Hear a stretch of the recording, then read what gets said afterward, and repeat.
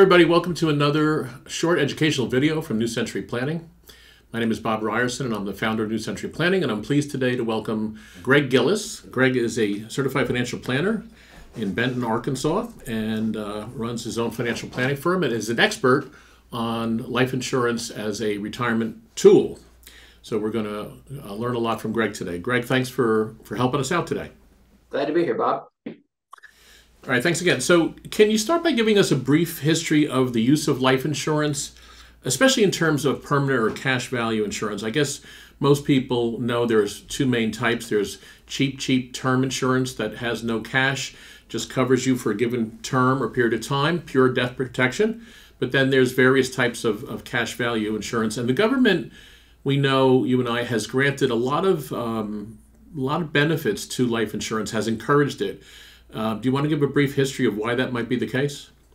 Sure, and I'll I'll skip over the, the fact that the ancient Romans uh, had a form of life insurance. We'll we'll probably start a little uh, a, a, little sooner. Or, uh, so it goes back to Rome, Roman bit. times. Okay. Yeah, we'll, we'll skip ahead to more modern times, but but life the, idea of life insurance has been around uh, since then. So basically, the the evolution of modern uh, cash value life insurance started with whole life. So you pay the company premiums they invest that money. They take some of it for the uh, the cost of insurance. They invest the rest of it with their uh, general bond portfolio, and that evolved into something called universal life, which was basically the same thing, but it allowed you to put a little more or a little less premium. So it was it was a flexible premium was kind of the the, the term that came along then.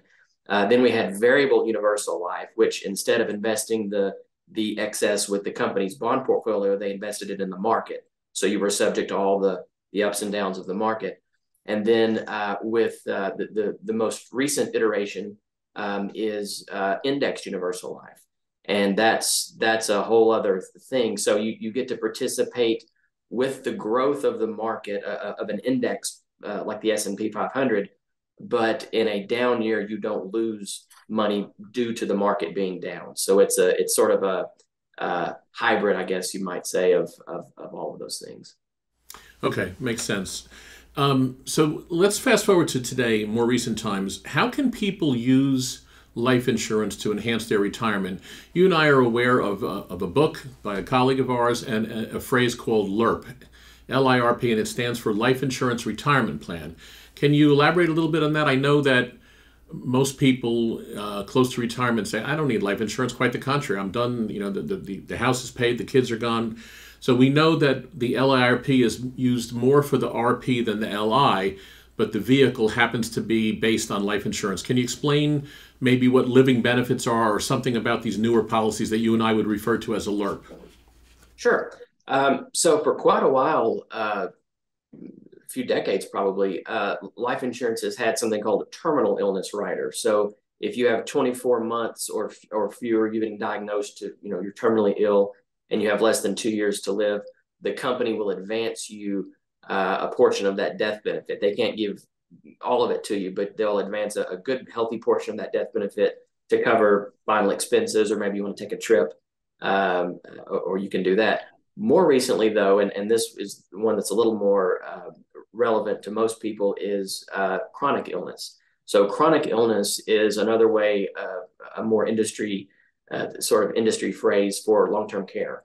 So if you are unable to perform two of your activities of daily living, transference, um, bathing, eating, those sorts of things, if you're if a doctor says you're unable to do two of those six things, then the company will advance you a portion of the death benefit to cover things like nursing home or in-home care uh, and that's a that's a much more relevant uh, for, for for people. That, that's on a lot of people's minds as opposed to the terminal illness. And there are a few other companies out there that have other uh, similar things, but the chronic illness is the far and away right. the, the biggest. Right, and we know statistically it's a horror show. I mean, I think according to the government statistics, 69, 70% chance that all of us will need that type of care before we pass on, whether it's for cognitive or physical reasons. So it's a big issue, and it should be addressed for everybody in retirement if they can, as opposed to you know. For years, we did the long-term care insurance policies, and they're good; they do the trick. But the the I guess the problem or some of the downside of a pure long-term care insurance policy is that you may pay these premiums for 25 or 30 years, die peacefully in your sleep at 95, and all the money stays with the insurance company, and, and they raise the premiums along the way. Uh, the LIRP does what? If they use this these newer life insurance policies with the chronic illness rider, uh, the difference is what? Right. So that's exactly right. With long-term care, if, if you you pay the premiums and you didn't need it, they're not going to give you your money back. So it's a use it or lose it proposition. Chronic illness works a little differently. With that, it doesn't cost anything to add that feature to the to the life insurance policy. It's it's and if you didn't need it, it never cost you anything. Beautiful. If you do need it, that's how the company pays for it. If if you do need it, they'll advance a portion of that death benefit and they'll retain some of that to pay for the, the cost of, of giving you that money early um, and then that's how you pay for it. So there's no there's no cost on the front end. It's only if you use it. Great. So that seems more efficient. So it's not a user loser proposition, and if you uh, if you never need it, you never paid any anything for it.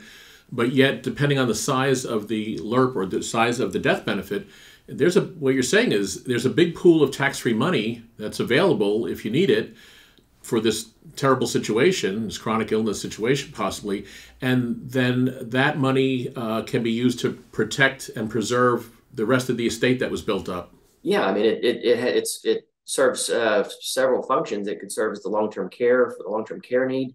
You've got this huge pool of, of money, which I, I'm, I'm sure we'll get into in a second, for taking money to, to spend in retirement. So it's tax free for retirement. And then also the, the death benefit, which is you know, at its core, it's life insurance. So uh, it, it's going to preserve your estate um, in that way as well.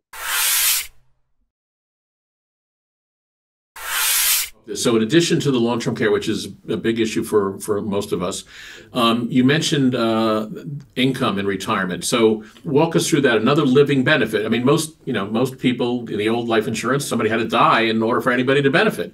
Here, you're saying with these newer policies, these so-called LIRPs, you pay it for a while, and at some point, you can. I assume you can get back your own premiums. You can take out income for yourself and supplement your your retirement with tax free money that that doesn't have to be paid back. Is that that correct? Absolutely. So so let's say for example that you've you've paid in premiums for you know seven years. That's typical to to, to pay for seven years, and then you know twelve years, fifteen years from now, uh, you want to take some money. If you were to go to a bank and borrow money from that bank, uh, that loan is is not subject to income tax. Same is true for, for, for this. You would be borrowing money from the life insurance company, and they would be using your cash value as collateral against that loan. So it's tax free. It's, it's just like a loan from the bank in, in that regard. So you can take all this money from your policy tax free and, and spend it on whatever you want. Um, and unlike other instruments that might make you wait, uh, retirement instruments that might make you wait till age 59 and a half, you can do it at whatever age. And however much you want. And there's, I mean, it's really, it, it's up to you. Very flexible. All right, so that's interesting. So you mentioned seven years. So as opposed to paying something your whole life, you you we normally run these things six, seven, eight years. We let them bake a little bit, another two, three, four years, and then if we want, either on a regular basis to supplement income or occasionally for trips or whatever, uh, we can take money back out. Basically, we build it up, and then we can pay ourselves back all our premiums and the policy stays in place and does other things for us, long-term care or legacy or whatever. So that's that's pretty flexible. That's a pretty nice benefit. Yeah, and you know it's, it's like putting gas in a car. You want to make sure you, you get enough gas uh, in there to, to get where you're going. So you don't you don't want to pay it for you know two years or, or really even three. You, you want to pay for a couple of years. But the the old the old whole life policies typically you had to pay for the rest of your life.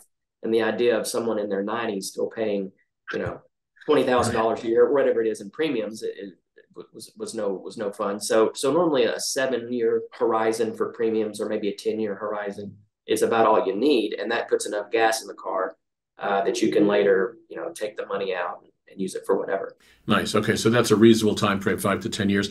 You mentioned also that um, because it's a loan, you know, if you take a loan from your uh, against your house or your 401k, within 30 days, you've got to be making some sort of payment. The difference with these loans, and these are intentional loans that we're not going to pay back, We built it up or we're just going to take it back. These loans don't have to be paid back at all, or they can be. It's good to pay them back if you can. Uh, you can use it almost as a, you know, there's a concept be your own banker. But for purposes of retirement planning, if you want to take a nice supplemental tax free income or an occasional amount, these are amounts that we're not planning to pay back. And, and because it's a loan, it's tax free, right? Right. I mean, if, if you want to pay it back, you can. That's the, the be your own banker concept you mentioned, where you you take money from your policy instead of a bank, and then you you pay your you pay your policy back, and and that way you're not paying interest to a bank. That's a that's a great strategy, but generally no, people aren't going to pay that loan back. Uh, the the life insurance company will pay themselves back out of the death benefit. So you don't pay that back during your lifetime, and then when you pass away, the company you know keeps whatever was earmarked to repay themselves, and then your heirs get the balance. We, we build up over time a big pool of money. Uh, we talked about uh, supplemental tax free income. We talked about long term care, a big pool of tax free money for long term care if we need that. How about uh, if, if somebody has a big pool of money, uh, how about an opportunity fund, a private? If this is done correctly, we have a pool of money, and let's suppose there's a credit crunch, or let's suppose your neighbors, you know, some if you hear about a house in foreclosure, there's some opportunity. Silver's too cheap, stocks are too cheap. I mean, basically, for somebody who's a little more sophisticated, this is they can get their hands on a big chunk of money under any circumstances because there's a guaranteed loan provision in these policies pay it back, you know, whenever they want. So it, it's uh, that flexibility aspect is again not for everybody, but I, I, think it's worth mentioning that this this could be an opportunity fund or an emergency fund if things go wrong. Sure, I think a lot of people go into this with the intention of we're gonna we're gonna fund it for seven years. We're gonna you know let it let it bake for a few more years, and then starting in year you know twelve or fifteen, we're gonna start taking money out each year to supplement our retirement. I think a lot of people get into it uh, anticipating that, but then when year 12 or 15 rolls around, they say, well, our spending has declined a little bit. We're not we're not going as hard at, at age 80 as we were at age 65. So we don't need that that money every year. So they let it simmer uh, a little longer. And then when an opportunity uh, comes along, they've got a, a, lot of cash. It's it's grown inside there because they weren't right. tapping into it every year. Um, and yeah, they can they can use it for for a, an opportunity like that or again the, the be your own banker concept where they take a huge chunk out and pay themselves back rather than doing that at a, at a bank and avoiding the interest right and and these we should mention and, and i think if these are attractive as a retirement planning vehicle for people in their 50s 60s even 70s I imagine you're going to tell me that for somebody in their 20s, 30s, 40s who gets it, that doesn't always happen. But for somebody who's younger and rocking and rolling, making money, the LIRPs are, are really incredible by the time you hit 55 or 60, right? Oh yeah, yeah. I mean, what, what did what did Einstein say about uh, compound interest? It was the the eighth wonder of the world. I mean, it's it, imagine tax free tax free compounding. Yeah, ta- tax free compound. Yeah. So so imagine you know having something compound for you know 30 years uh, instead of 15 or, or 40 years instead of 15 years. Right. Uh, it, it's huge. Unique tool that people should look at. Of course, it, it depends on your health. If you're not healthy, uh, uh, it's not going to work as good. You got to get approved, so it's not for everybody. Um, but one thing I want to mention is the money is productive here. Again, it takes a while. You know, I, I think I've heard you use the example of uh, a jet plane taking off. You know, there's a lot of inertia to overcome before the plane is at 30,000 feet. But when it's at 33,000 feet, that's a heck of an efficient vehicle, and it's it's a fantastic thing. So it does take a little while. It's not a quick thing, um, but the money is productive. I mean, over time, it's fairly cheap. It's expensive up front, like a mortgage. Gets a lot cheaper over time. I think averages one or two percent a year over time, but it can be productive, right? This money you mentioned compounding over time. This money can be four, five, six, seven percent a year over time or more. Yes, and, and historically it's been maybe just a little more than that in in the index universal life variable. You know, going back, uh, the different products had different um, different average rates of return. But yeah, it's not it, it's not like a savings account that's just going to get you you know a couple of, of points. It's you know I think seven percent over over a long term is is not unrealistic at all. Um, and uh, as you said, the expenses get lower with life insurance over time, uh, not not more expensive uh, it gets less expensive. So, you know, over the over the the span of your lifetime, which you know you, you go into this keeping it for the rest of your life. Right. So you have right. to look you have to look at at the cost over that uh, time horizon. Time. Right. And, and, it might be one to one and a half percent uh, cost, which is not you know you're you're going to pay that about anywhere you go. Um, and so to get something seven eight percent rate of return and to get it tax free, I mean gross that up to what it would need to be in a brokerage account to to get you that eight percent. You would have to earn I don't know 10 percent or so, eleven percent in a brokerage account to net that. Right, to taxable, yeah, to get six or seven tax free. And I think people don't realize that even if they have money at Fidelity or Vanguard or whatever, you know, there's there's some fees they see in their mutual funds, uh, and there's some that they don't. And so uh, one to one and a half is pretty efficient over time for all the tax free benefits. And uh, so I just wanted to, for us to convey to people that this can be productive money. It doesn't necessarily mean it's going to be two or three percent uh, parking place. This can be productive. Uh, it can be very opportunistic. And again, the main reasons why we use this is to to address long-term care, which is a big, big risk for people. Uh, and we're not wasting our time. If, if we never, if we're fortunate enough to die peacefully in our sleep at 93, we didn't we didn't spend anything. All the money stays in the family. That's pretty powerful. We have a supplemental income if we need it. We can help with college funding, gifts, travel. It's it's. Uh, so I just wanted to express the flexibility. So this is a, a tool that we recommend uh, to anybody who thinks they can qualify, I guess, and, and has the has the ability to fund it because we're basically taking money from the taxable world and getting it over to the tax-free world over seven or eight or ten years, right? Yeah, and and you know, in doing that, you're guarding yourself against uh, the tax train uh, that's that's coming. So, right. So we we are all concerned about higher taxes down the road. There's a lot of history in the country to show that tax rates have been higher. So uh, at this particular time here, early 2023. Taxes uh, look like they may be heading higher. We have terrible deficits, so it's a. Uh, we didn't talk too much about it, but it's uh, we can insulate a big pile of money from future tax increases as well. So Okay, great, Greg. Thank you so much for helping us out today and uh, educating us on LIRPs.